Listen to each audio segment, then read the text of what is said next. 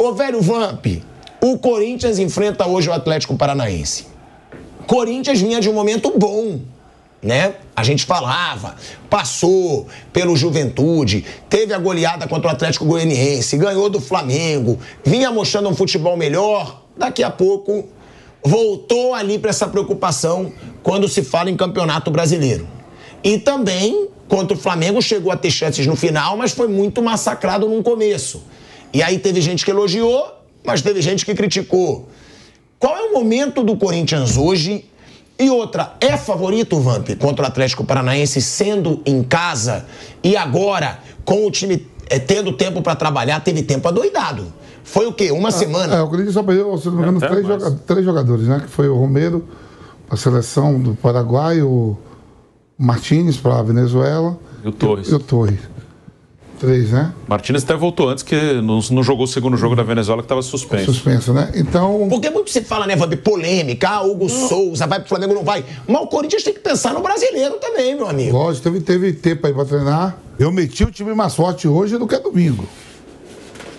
Calma aí, calma aí, calma aí. Então, então vamos bancar aqui tua opinião. É. Tu colocaria o time 100% time A do Corinthians hoje, hoje lógico. faria contra o Flamengo? Lógico. Toma um nabo hoje e daqui a pouco não passa do Flamengo, vê onde vai ficar o Corinthians na tabela do brasileiro. Tá bom, mas e se toma um nabo hoje e passa do Flamengo? É legal, cai, cai e tá na final da Copa do Brasil. Mas é isso que eu tô te perguntando. eu prefiro prefere? hoje, hoje, time forte. O que ele puder de, de melhor tinha que sair hoje. Olha Porque só. se ele ganha, ele vai depender do resultado do Fluminense ali, do Fla-Flu. Ele, ele passa até o Atlético Paranaense. Passa o Atlético, sim. Vocês concordam com o Vampeta? Sim. Hoje o jogo é muito claro. mais importante claro. que o jogo de domingo contra o Flamengo. Claro. Mas eu não sei se o torcedor leva muito nesse aspecto, é. não. Né? Agora, o a... torcedor não leva a sério. Porra, tem a rivalidade. Tá tendo o assunto pergunta do pro torcedor, quem... Pergunta pro torcedor. A gente podia fazer uma enquete aqui. Não, mas quem define o torcedor são as pessoas que trabalham no Corinthians, que são pagas para isso, o técnico, os dirigentes, que, comadores ou profissionais, pouco importa nesse contexto. Eles é que tem que avaliar. O rebaixamento. É... No dia a dia, Mauro, andando na rua, ele está mais preocupado com o rebaixamento do que com adianta chegar na final da Copa do Brasil, que não garante que você vai ganhar, né? E você ser rebaixado. O jogo de hoje tem realmente um caráter super decisivo. Detalhe: o Cuiabá tem um jogo a menos, se ele vence o jogo atrasado, ele passa o Corinthians. Se o Corinthians perde para o Atlético ou empata, ele fica ainda mais na alça de mira do Cuiabá, que é o 19. Próxima rodada é Cuiabá e Corinthians em Cuiabá. Então, se o Corinthians empata hoje e perde para o Cuiabá, o negócio fica muito feio. Especialmente se o Vitória pontuar, os times que estão à frente ali. Hoje, por exemplo, o Fluminense vencendo o Flamengo, empatando, já faz ponto. Já tem um jogo a menos. Não, e é tem um jogo a menos. direto, né, Mauro? É Sim. confronto direto contra o Atlético Paranaense. Sim. Se o Corinthians ganhar hoje, ele passa o Atlético. Claro, o Atlético, o Atlético tem dois jogos a menos que o Corinthians. Se eu não estou enganado, o Atlético tem seis, seis derrotas e três empates nos últimos nove jogos, uma coisa assim, no, no, no Campeonato Brasileiro. Está tá, tá, assim, queda livre. A torcida foi lá protestar lá no CT essa semana, inclusive. Vamos supor que no Fla-Flu... Se o Corinthians ganha hoje, provavelmente ele sai da zona do rebaixamento. No Fla-Flu, vamos supor no Fla-Flu que o Fluminense perca, o Corinthians ganhe. O Corinthians passa o Fluminense e o Atlético Paranaense, mas essas duas equipes têm jogo a menos. Se eles ganharem o jogo dele, passa o Corinthians de novo. O Fluminense tem um jogo a menos e o Atlético Paranaense é, tem dois. Passa o Corinthians de novo. O jogo é entre eles. O Flu e o Atlético Paranaense se enfrentam. O Atlético Paranaense tem um jogo a menos com o Fluminense e outro com o Atlético Mineiro. E o jogo do Fluminense é com o Atlético Paranaense. Ó, o Atlético Paranaense, como diz o Mauro, seis derrotas e três empates nos últimos nove jogos do Campeonato Brasileiro. Sim. Ou seja, é uma baita oportunidade para o Corinthians ganhar. Agora, eu só não sei se eu concordo, porque é claro que eu acho o seguinte: se você perguntar para o torcedor do Corinthians, você prefere ser campeão da Copa do Brasil e rebaixado ou ficar na Série A e não ganhar a Copa do Brasil? Ficar na Série A e não ganhar a Copa do Brasil. Isso representa. Agora, eu sei. Mas se você for perguntar, eu, eu até falo, Bruno, se o Bruno Lange puder botar essa enquete agora aí. O que, que o torcedor do Corinthians prefere? Ganhar do Atlético Paranaense ou passar pelo Flamengo no domingo? Eu já digo que eu tenho dúvida. Eu tô falando um jogo e um outro, porque ainda dá para recuperar depois. Dá, vai é nessa que dá, já vai cair para oito jogos. Eu sei, foi a pessoa que tem todo o clima. Flamengo, Flamengo embarreirando o Hugo Souza. Esse clima de rivalidade, o torcedor do Corinthians, você tem dúvida. O Flamengo que... tá embarreirando o Hugo Souza? É só pagar, gente. Não, sério, eu tô falando sério, é só pagar, meu Deus do céu. 800 mil euros, paga. É só pagar. Essa discussão é ridícula. Paga, resolve o problema. Não paga o Depay? Tá pagando, Depay, tá? tá? Tem um patrocinador aí que paga, cara. E é 5 milhões. Paga o Ranielli também. É só pagar os jogadores que são contratados. Né? É muito simples, não tem, não tem segredo, não tem como embarrear. Se pagar, não tem como embarrear, Thiago. Paga, pagou, não tem barreira. Agora, ah, vou pagar depois, não sei o quê, bababá. Esse é o problema. assim, depois dessa entrevista do Fred Luz, né? A coisa ficou mais constrangedora ainda. Meu, que coisa constrangedora aquela entrevista, meu Deus do céu. Que ele meio que culpa quem está cobrando, né? É, ele fala que tem que, ter, que entender, tem que ter compreensão. Que ter compreensão com o quê? Você está usando, no caso do Cuiabá, você está usando o meu jogador, não pagou por ele, enfraqueceu meu time, fortaleceu o seu, e nós disputamos a mesma coisa, que é escapar do rebaixamento. Se alguém acha isso correto, me desculpe, tem uma visão completamente distorcida da realidade. Onde já se viu isso, gente? Não tem cabimento nenhum, só no Brasil essa loucura. Por isso que a gente fala, o mercado de jogo alimentado gera esse tipo de coisa. Isso é uma total bizarrice.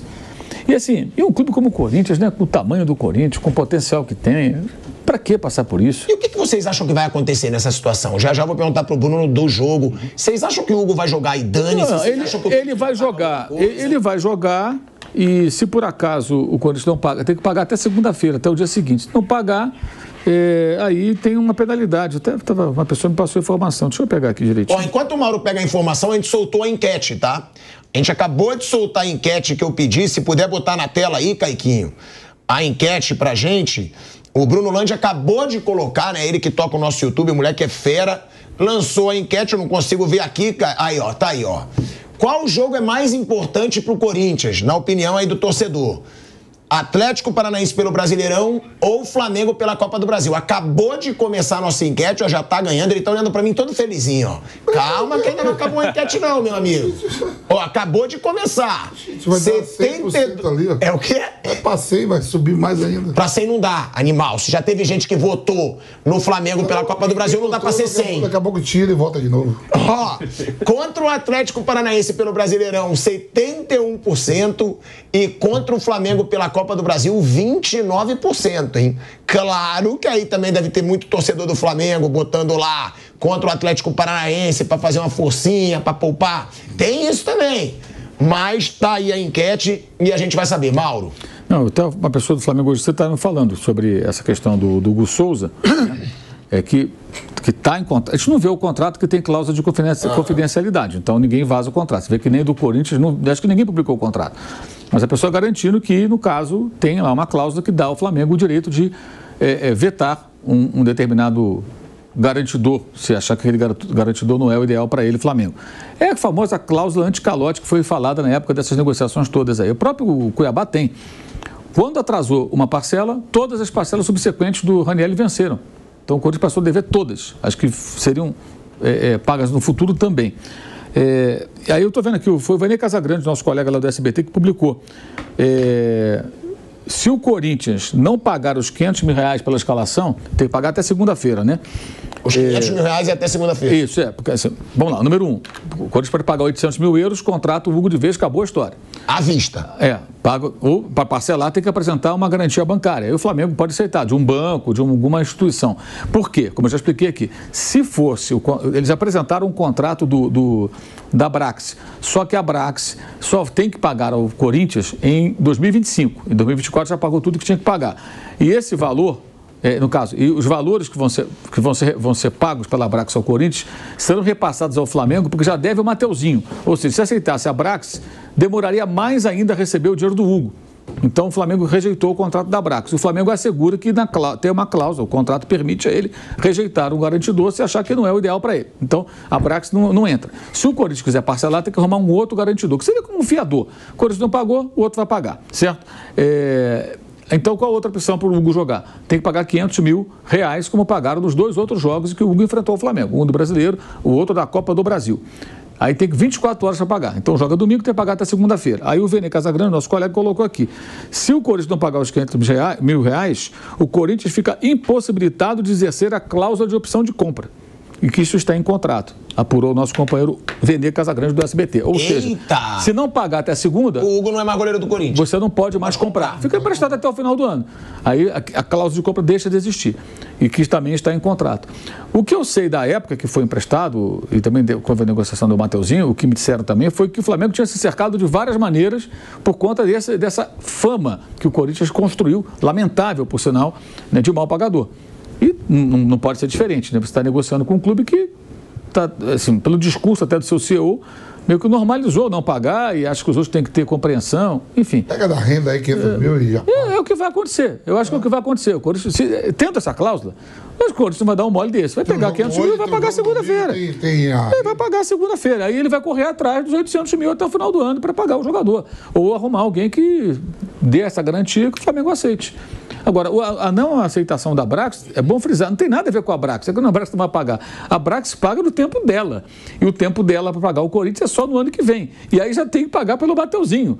O dinheiro do Mateuzinho que iria para o Corinthians, ele vai mudar de caminho, vai para o Flamengo até que o dinheiro da Brax, aliás, para o Corinthians, vai ser, vai ser direcionado pela Brax ao Flamengo, até quitar o valor devido. Quando quitar o valor devido, aí o restante, se houver o que receber, vai para o Corinthians. Isso do ano que vem, porque o contrato vai até 2029. Agora vamos imaginar que o dinheiro de 25 pague o Mateuzinho. Aí o Flamengo receberia pelo Hugo só em 26, ou uma parte em 25, outra em 26. Por isso que o contrato foi recusado. Não tem nada a ver com a Brax. Aliás, a Brax não é o fiador do Corinthians, é o contrato utilizado como garantia. É importante as pessoas entenderem isso. É um pouquinho complicado, mas dá para entender. Um negócio. O, o staff, o staff do Hugo deve estar tá vibrando agora, sabe por quê? Se comprar, tem que fazer um contrato. Se não fizer esse contrato aqui, não adianta me comprar, não, senão eu não quero. Sim. Isso também. Sabia? Sim, sim. Sim, porque valorizou o jogador. Valorizou, agora eu quero tanto. Se não sim. me pagar, não, não, não, me compra, eu não quero vir, não. Isso, tem isso. Tem isso também. Tem isso. O jogador que estava sem clube, é. sem clube não, mas sem, sem visibilidade, é. ele não decolou em Portugal, é bom frisar. Né? Vai, jogou agora, lá e tal, mas nenhum clube pedir, se interessou por ele. Vai pedir agora um. E agora ele está em evidência. É. Ele está em evidência, é um momento bom para o rapaz, então é claro que os agentes dele vão tentar aproveitar isso da melhor maneira. Não, e é uma situação, né, ainda falando do Hugo, que isso que o Vene Casagrande trouxe, dando crédito, é o Corinthians não pode dar mole. Não adianta querer bater pezinho, porque depois, segunda-feira, não paga os 500 mil, não pagou também com a garantia, porque para ser parcelado tem que ter uma garantia. Não tem até agora. Olha só, estou vendo aqui no GE aspas do Pedro Lourenço, que é o dono do Cruzeiro, né? Vamos entrar na justiça. O Inter nos deve o valor de 7 milhões. E ainda deve pelo Maurício. Eles não pagam ninguém. Eu estou pagando o Wesley para o Palmeiras. Cara, é, é, de lado a lado. Um não paga, o outro não paga. O Internacional já vendeu o Maurício. E o Cruzeiro alega que não pagou o Maurício. O Maurício é jogador do Palmeiras. Até se machucou agora o rapaz. Cara, isso é uma loucura, isso. Então tá explicado, gente. É se o Hugo atuar o Corinthians não pagar o parcelamento com a garantia que o Flamengo quer, ou o Corinthians não pagar os 500 mil reais até segunda-feira, o Corinthians perde o direito a compra. É, anula a cláusula de obrigação de compra do Hugo Souza. Ou seja, pode melar o negócio para o Corinthians e um negócio que é muito bom. Porque o Hugo realmente foi um péssimo negócio do Flamengo. O Flamengo vendeu a preço de banana 4 milhões e 800 mil reais e o Corinthians não pode desperdiçar essa chance. Antes de falar do Fla-Flu, Bruno, um Corinthians, ele me perguntou. Então, então eu vou até te dizer, e aí você vai me dizer quem é monstro, quem não é. Não, eu tiraria que Aquela palhaçada toda que você faz. Vamos lá. Vamos lá. Hugo Souza. Compra logo. É. Compra logo, pô. É essa a observação. É, estão comprando aí um monte de jogador mais caro, o menino tá bem. Mas compra logo o que? À vista? 4 milhões e 800. Pega emprestado a mão do Carlos Leite, alguém não é, não é acostumado a pegar aí, André Cury. Já pega, se não tem, pega. Que é isso? É Fagner. Eu botaria também. Esse seria meu time. Tá indo, tá indo bem, tá indo bem. Tá indo bem, então. É. Tá concordando com o Ramon é, Dias. É, é. André Ramalho. Também, tá indo bem. Indo bem. Só isso, você vai falar isso não, de todo mundo. Vendo. Quem, não for bem, eu falo. Então tá. Kaká. Eu ia de Gustavo Henrique. Eu também. Eu iria de Gustavo Henrique. Eu iria de Gustavo Henrique também. Caiu meu ponto aqui, mas eu coloco. Tá? É. Eu iria de Gustavo Henrique, velho Vamp. É. é e Matheus Bidu. Eu ia de Hugo. José Martínez. Eu ia de José Martínez. Breno Bidon. Eu ia de Coronado. André Carrilho. Eu ia de. Nem sabe de quem ia. Ele quer, André ele quer falar. André Carrilho, não, eu ia com. com... Você ia botar Garro. o Romero. Garro. Não, o Garro vai jogar, você não tá esperando? É. é provavelmente, botando o André Carrilho, ele vai tirar ou o Memphis ou o Romero, ou o Yuri Alberto. Ele não vai tirar o Memphis desse jogo, sendo que ele não pode jogar contra o Flamengo. Tá, Carrilho. Eu, tira, eu tiraria o Romero. Pronto. Então joga o Carrilho. Pronto. Carrilho joga, então. É, já tá aí. Então tá. E Rodrigo Garro. Pronto, Garro. Você não vai falar monstraço do Garro, Não, não? não, tá, tá na zona de rebaixamento, não tem que falar nada de monstro. Mas, pô, ele tá jogando adoidado, gente. Não, mas tá na zona de rebaixamento. Tá bom. Memphis Depay Tá na zona de rebaixamento. e Yuri Alberto. Tá na zona de rebaixamento. Que loucura. E aí, é só isso? Você não vai falar nada? Eu quero, que- como é que você quer que fique gritando com segredo, com o time olhando a tabela lá, tá lá embaixo. Agora fala assim, é, fala assim do Botafogo, Luiz Henrique, Luiz Henrique, monstro, Igor Jesus. pô, monstraço. Estão tudo lá, lá em cima. Mas gostou da cavalaria? Gostei. Aí eu sacava só o Romero. Ainda bem que ele jogou com ele descer. Não, meu amigo, me desculpa, você não sabe mais o que você fala. você Romero não sacava só o Romero. Se o Carri- você falou se que o você Carrilho vai sacaria o Kaká, você falou que você sacaria o Bidu. É, sacaria, mas ele que é o treinador, né? Iria No meu time é outro. Gustavo Henrique e Hugo. Gustavo Então, Gustavo Henrique e Hugo no lugar de Kaká e Matheus Bidu. É. Então tá explicado, gente. É se o Hugo atuar, o Corinthians não pagar o parcelamento com a garantia que o Flamengo quer, ou o Corinthians não pagar os 500 mil reais até segunda-feira, o Corinthians perde o direito à compra. É, anula a cláusula de obrigação de compra do Hugo Souza. Ou seja, pode melar o negócio pro Corinthians e um negócio que é muito bom. Porque o Hugo realmente foi um péssimo negócio do Flamengo.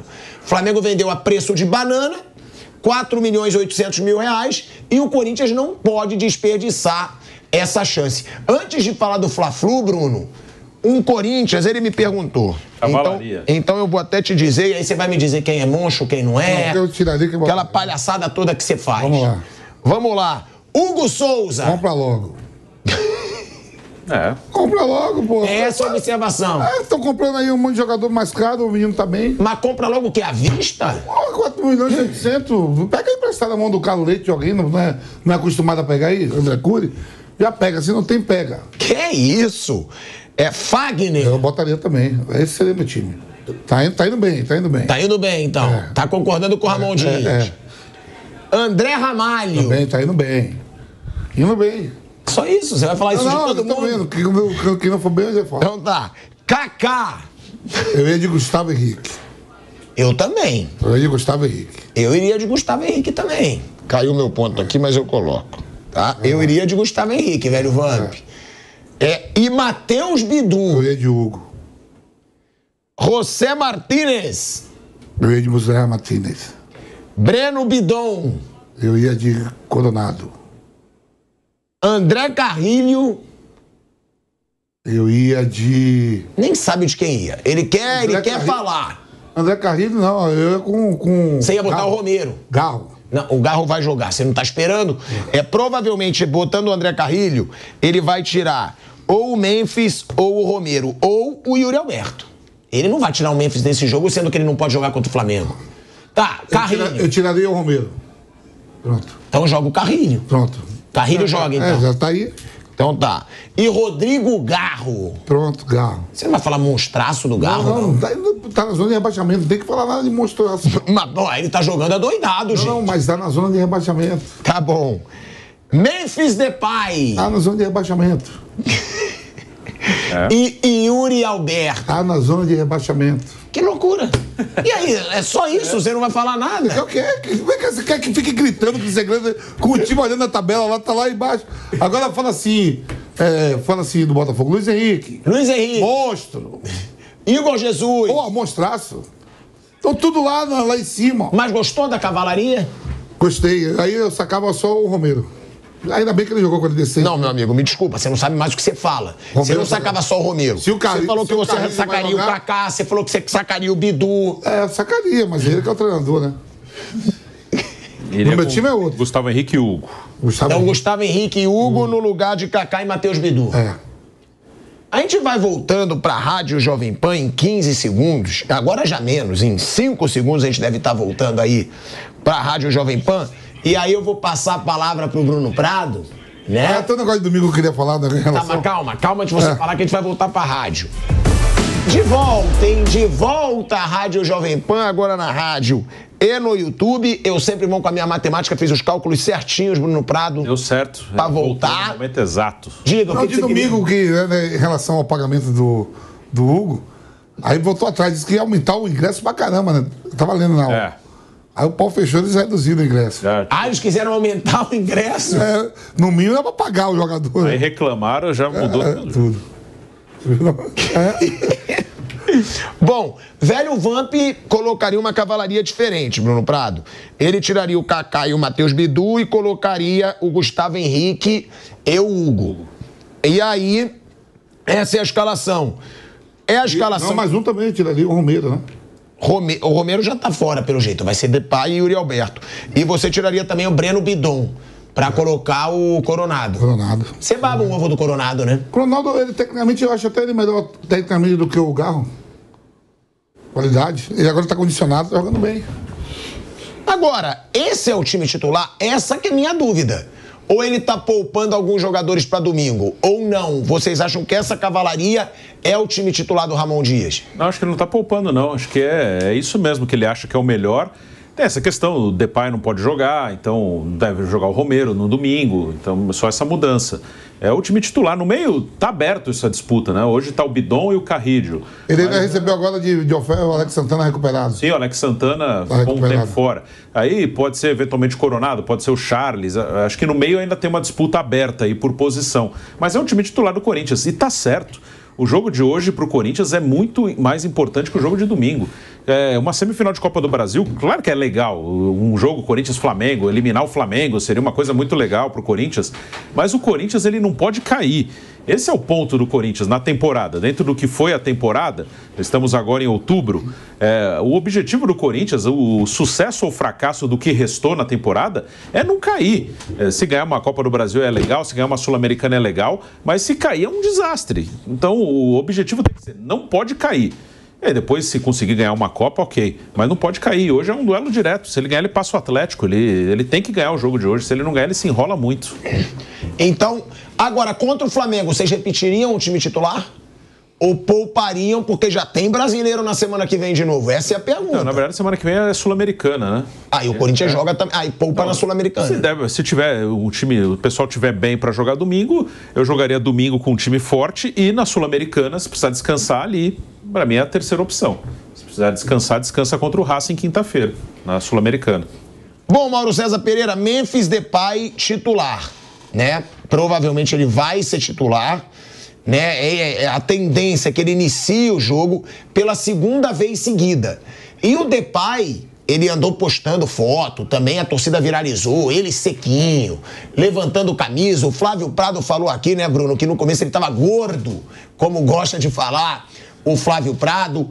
Esse jogador em forma pode fazer muito a diferença para esse Corinthians, né, o, o Mauro? É, mas até agora não fez muita diferença. Deu um passo para gol para o Roberto no empate com o Internacional, mas ainda não conseguiu fazer toda essa diferença. Ele precisa fazer, ele é um investimento altíssimo, é o jogador mais caro em atividade no futebol Aí, ó, brasileiro. essa é a foto, ó. Ele precisa, é, não, favor nenhum tá em forma, né? O cara ganha muito bem para isso também. É, eu acho engraçado quando o jogador de futebol fica mostrando que tá em forma. Tá- Você ganha bem para quê?